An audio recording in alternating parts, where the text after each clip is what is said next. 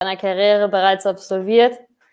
Davon auch einige in der zweiten Bundesliga und jetzt in der dritten Liga bei der Spielvereinigung Unterhaching. Unser heutiger Gast ist Paul Grauschopf. Servus Paul, cool, dass du dir die Zeit nimmst.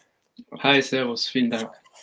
Ähm, wir starten gleich mal mit was Aktuellem. Es war in den Medien die Niederlage gegen den SC Werl. Ihr wart bis zur 87. Minute vorne und dann verliert ihr doch noch 3 zu 4. Woran hat es gelegen? Boah, ja, ganz schwierig zu erklären, ehrlich gesagt. Ähm, ich glaube, im Fußball gibt es manche Sachen, die man ja, einfach auch, glaube ich, nicht erklären kann. Da, glaube ich, fällt auch jetzt unsere Niederlage irgendwo drunter. Äh, ja, gewissermaßen sitzt, äh, sitzt der Schock schon noch tief, ja, muss man ganz klar so sagen. Aber ja, hilft nichts, gehört leider auch zum Fußball dazu. Auch so bittere Niederlagen gibt es halt einfach. Ähm, ja, okay. abhaken und weiter geht's. Äh, wie hast du persönlich diese Niederlage verarbeitet, aber auch ihr als Team gemeinsam, nicht nur sportlich, sondern vielleicht auch mental gesehen? Ähm, ja, wir hatten einen Tag danach frei. Insofern ging es für den einen oder anderen wahrscheinlich heim zur Familie halt oder ja, zu seinen Liebsten. Oder konnte jeder halt so den Tag irgendwie für sich verbringen. Ähm, ja, ich glaube, so richtig aus dem Kopf bringt man das halt nicht raus, aber ja, glaube ich, da über die, über die Jahre lernt da jeder, das, äh, jeder selber damit umzugehen. Ähm, jeder irgendwo sein eigenes, sein eigenes Ding dann. Ähm, aber wie gesagt, so ganz raus aus dem Kopf ist immer noch nicht. Also das glaube ich braucht auch noch ein bisschen aber geht am Samstag wieder weiter, deswegen sollte man das auf jeden Fall möglichst schnell irgendwie abhaken. Sehr gut. Ähm, es gibt immer Überraschungen. Die Niederlage war eine sowas. Ähm, 2020 war Corona die Überraschung, deswegen eine etwas andere Winterpause als normalerweise. Wie habt ihr die Winterpause genutzt? Vielleicht auch du persönlich. Was war ganz anders als sonst? Ja, ganz anders war natürlich in erster Linie mal äh, die Länge. War natürlich wesentlich kürzer als als man es gewohnt ist oder als sonst.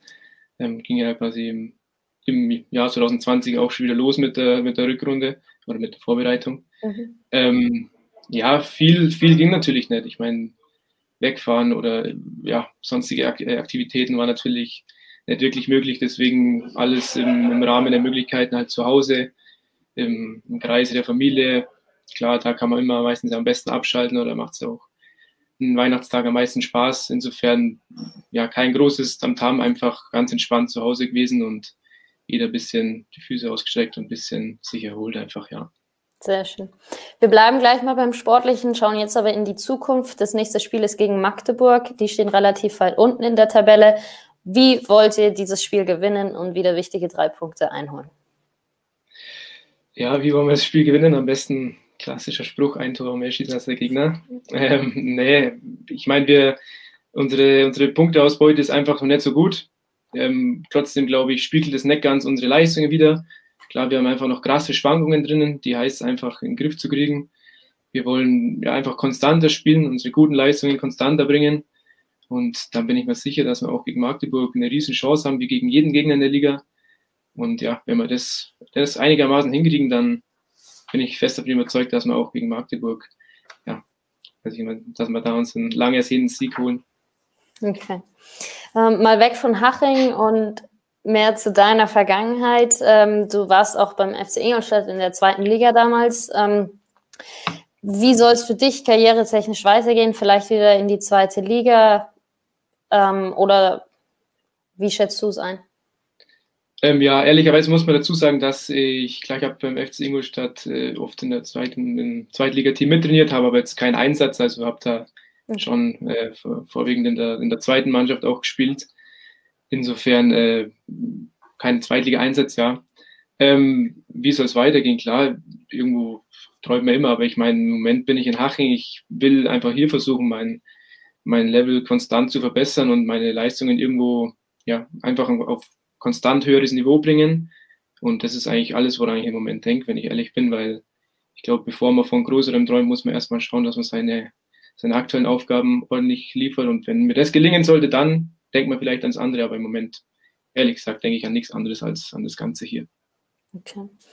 Ähm, gleich nochmal, wir bleiben bei der Vergangenheit. Du warst bei Jan Regensburg, Reuter Fürth und auch RB Leipzig. Ähm, an was erinnerst du dich gerne zurück aus deiner Jugend, aus diesen Zeiten bei den drei Vereinen? Was war vielleicht auch die schönste oder auch die lehrreichste Station?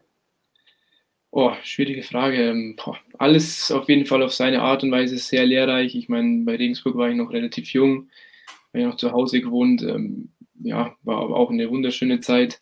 In Fürth war dann wahrscheinlich die prägendste Zeit mit den drei Jahren dort, auch wo ich zur Schule gegangen bin, wo ich ja so den Hauptteil meiner, meines Jugendfußballs sozusagen verbracht habe.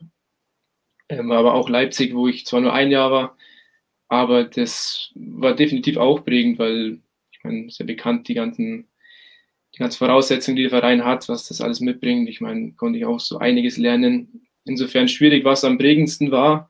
Ähm, ja, alles seinen Reiz gehabt, alles sehr, sehr interessant gewesen und ja, ich hätte nichts, nichts davon missen wollen, auf jeden Fall. Okay. Ähm, noch kurz einen Ausblick auf die restliche Saison. Wie ähm, schafft ihr es euch von den Abstiegsplätzen fernzuhalten und welchen Anteil hast du daran? Ähm, ja, wie vorher schon angedeutet, einfach unser, unser, ja, unser Niveau, das wir auf jeden Fall an den Tag bringen können, einfach konstanter zeigen, einfach unsere guten Leistungen konstanter zeigen, dass wir ja nicht so Riesenschwankungen drin haben, wie wir es einfach in der Saison leider haben. Und ja, einfach ein bisschen abgeklärt, ein bisschen abgewichst. Ich meine, das war jetzt das beste Beispiel, dass wir uns jetzt am, am Dienstag halt noch ja, den, den Sieg nehmen haben lassen. Das spricht halt auch dafür einfach, dass wir noch nicht ganz so gefestigt sind, wie wir es gern, gern wären. Und ja, da gibt es so zwei, drei Punkte, die wenn wir einfach verbessern, dann bin ich mir auch ziemlich sicher, dass wir da einen riesen Schritt nach vorne machen und nichts mit dem Abstieg zu tun haben werden. Und ja, selber, ich hoffe natürlich, ich kann einen großen Teil dazu beitragen.